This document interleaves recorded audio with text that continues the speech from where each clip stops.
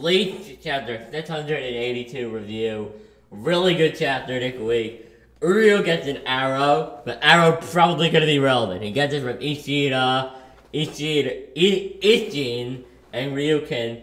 Now this means those two probably won't be relevant in the final battle, which is unfortunate that we've all been looking forward to seeing them fight, but whatever. Now let's talk about the elephant in the room here. Alright, Renji gets Ichigo a motivational speech and emphasizes that Ichigo, the reason him and Ruki are friends. Of the chapter. Um, the. Like, I love this though. Who am I fucking kidding? Motherfucking Aizen. Motherfucking Sosuke. Motherfucking Aizen. Sosuke motherfucking Aizen. How many times do I need to say it?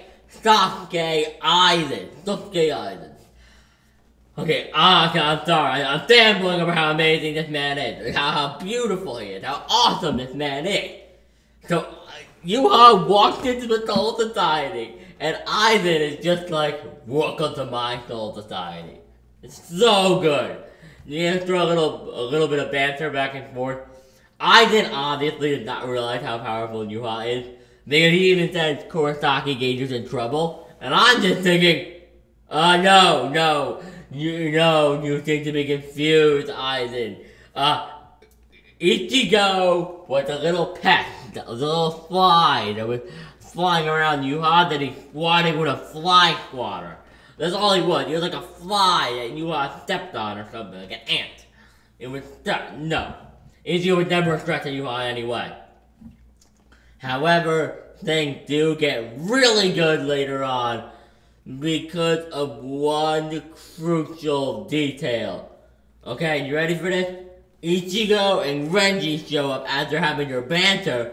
So now we get to see Aizen, Renji, and Ichigo fight against uh, Yuha. Now, Ichigo is suddenly healed. Like, I don't think he's, no, he's not healed. He's suddenly fighting again, but I don't understand why or he didn't heal him before they left. Now, I get it, it would be precious panel time, but come the hell on. Really, come on. Now, so, I'm assuming Ichigo and Renji know Aizen is on their side. I mean, they kind of just roll with it.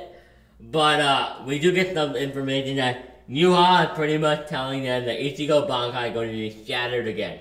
He's gonna break it again in the future, and Ichigo just like, fuck it. Now, that's pretty much all I have to say. On, that, that's my recap. That is my lame ass recap of this chapter. Did I like it? Yeah. I loved it, this chapter. Much better than last chapter. Really enjoyable. Still don't know how Ichigo is using his Shinigami power. Still wonder about that because there's no power removed. Still called bullshit on that.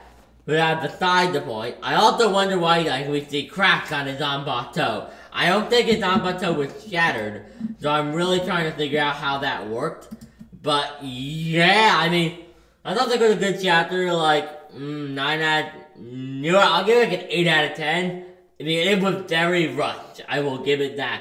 There wasn't, a lot of the things just went into one another. So a lot of them, I was kind of just nodding my head like, Kubo, don't rush it. Don't fuck this up, Kubo. But yeah, those are my thoughts on this Leaf Bleach chapter. I know that is a very detailed review, but I said that for day one, the reviews were not going to be detailed. They're just going to be me giving my thoughts on the chapter.